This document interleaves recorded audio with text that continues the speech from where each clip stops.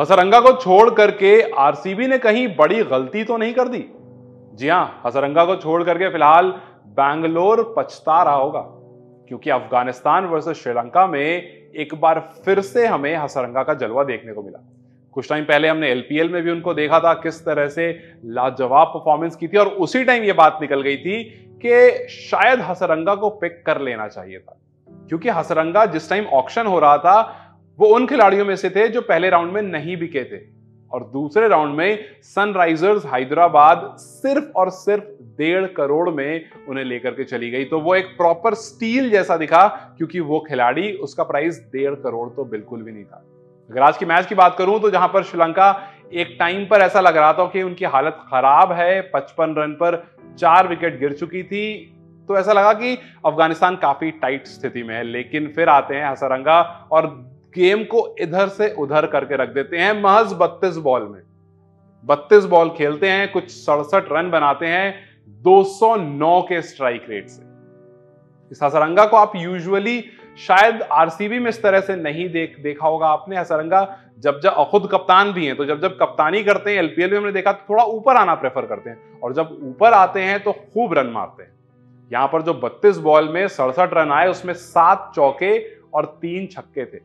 जहाँ पर दूसरी तरफ़ उनकी पूरी टीम ने सतासी रन बनाए। और पूरी टीम ने वो सतासी रन बयासी बॉलों में बनाए, बस 106 के स्ट्राइक रेट से आठ चौके पूरी टीम ने मारे और दो छक्के। मतलब जहाँ पर हसरंगा ने अकेले सात चौके और तीन छक्के मार दिए, वहाँ पर पूरी टीम आठ चौका और दो छक्के पर रही। तो ये चीज़ साफ़ साफ़ दिख रही थी कि इसको आप कह सकते हो कि skipper leading from the front तो जिस तरह से टी ट्वेंटी में हमने अब से पहले उनको देखा था, एक बार फिर उसी अवतार में दिखे। तो अब ऐसा लग रहा है कि सनराइजर्स हैदराबाद की कहीं ना कहीं बल्ले बल्ले हो गई है, क्योंकि डेढ़ करोड़ में अगर आपको एक अच्छा ऑलराउंडर मिल गया है, जो गेंदबाजी भी बहुत अच्छी करता है, बल्लेबाजी हम लगातार देख ही रहे हैं किस तरह से वो कर रहा है तो सनराइजर्स हैदराबाद तो खैर बहुत खुश होगी, लेकिन आरसीबी कहीं ना कहीं मुँह छुपा करके रो ज़रूर रही होगी कि यार, एक बहुत अच्छी स्टील हमारे हाथ से निकल गई, क्योंकि सिर्फ़ और सिर्फ़ डेढ़ करोड़ प्राइस था इनका। एक अटैकिंग बैटर जो अपने हाथ में गेम को लेकर के फॉरवर्ड बढ़ रहा है लगातार पिछले कुछ टाइम से, और गेंदबाजी तो खैर करते ही है हसरंगा। अब हसरंगा को लेकर के बीच में यही बात आई थी, क्योंकि पीएसएल से जब जब उनको अपनी अपने बोर्ड से एनओसी नहीं मिला था पीएसएल में जाने के लिए तो वहाँ पर थोड़ा सा विवाद ज़रूर आया था कि जी, आप क्यों ऐसे खिलाड़ियों को खरीदते हो? पीएसएल क्यों ऐसे खिलाड़ियों को खरीदता है जहाँ पर आपको जो खिलाड़ी होता है उनका बोर्ड जब उनको एनओसी देता ही नहीं तो खैर, फ़िलहाल एनओसी में, फ़िलहाल उसमें पीएसएल में नहीं खेल रहे हैं वो और अपनी टीम के खिलाफ अपनी टीम के साथ खेल रहे हैं, अफ़गानिस्तान के खिलाफ वहाँ पर अच्छी बल्लेबाजी करी उन्होंने। और अब इंतज़ार है आईपीएल के शुरू होने का कि आईपीएल में किस तरह से ये परफॉर्म करने वाले हैं, क्योंकि अगर आप सनराइजर्स हैदराबाद की तरफ़ देखेंगे तो उनका स्क्वाड जो है ना, वो ट्रॉफी लेने वाले से ट्रॉफी लिफ्ट करने वालों से भरा हुआ है।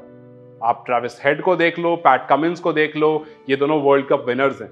आप हसरंगा को देख लो आप एलपीएल के विनिंग कैप्टन है, उसके बाद आप हेनरी क्लासन को देख लो दी हंड्रेड विनिंग टीम के प्लेयर है वो, फिर उसके बाद ऐसे टी ट्वेंटी के विनर माक्रम है, उसमें यानसन है, उसमें मतलब इस टीम में जो फॉरनर्स है ना, जो फॉरेन खिलाड़ी हैं, वो ट्रॉफीज लिफ्ट कर रहे हैं लगातार तो आरसीबी का तो पता नहीं, लेकिन ये बात तय है कि सनराइजर्स हैदराबाद बहुत स्ट्रांग हो गई है।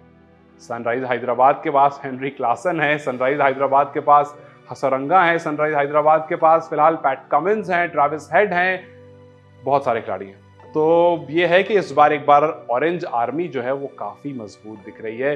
अब देखना ये होगा कि जिस तरह से लंका प्रीमियर लीग में इन्होंने परफॉर्म करा था, वहाँ पर ये हाईएस्ट रन स्कोरर थे, वहाँ पर ये सबसे ज़्यादा विकेट लेने वाले खिलाड़ी भी थे। कुछ नौ मैच नौ इनिंग जो उन्होंने खेली थी, उसमें 280 रन के आसपास बना दिए थे, और उसमें उन्होंने 19 विकेट ले लिए थे। दस इनिंग में चौंतीस के एवरेज से। तो टी ट्वेंटी के फॉर्मेट में हसरंगा को जब से ऐसा लग रहा है आरसीबी ने ड्रॉप किया है, उसके बाद से उनकी परफॉर्मेंसेज ऐसी आ रही थी और ऐसा नहीं आरसीबी को मौका नहीं मिला।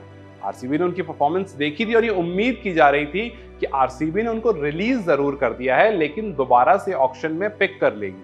लेकिन ऑप्शन के शुरुआती राउंड में कोई भी इंटरेस्टेड नहीं था बट बाद में एस ने जाकर के इंटरेस्ट दिखाया। और उनको सिर्फ़ और सिर्फ़ डेढ़ करोड़ में पिक कर लिया। तो अब चलिए देखते हैं कि ये स्टील कैसी रहती है सारेज के लिए। सारेज के पास जो टीम है, वो काफ़ी स्ट्रांग दिख रही है। आरसीबी तो खैर अपने आप का कुछ नुकसान तो करा ही लिया, लेकिन यू नेवर नो कि क्या होगा आईपीएल में। व्हाट यू थिंक कि क्या हसरंगा का एस में जाना आरसीबी के लिए सर दर्द बढ़ाएगा और क्या एसआरएच को ट्रॉफी लिफ्ट करवाएगा? आपको क्या लगता है? अपनी राय मुझे कमेंट सेक्शन में ज़रूर बताएँ। इस वीडियो को लाइक और शेयर ज़रूर करें और जाते जाते चैनल को सब्सक्राइब कर दिया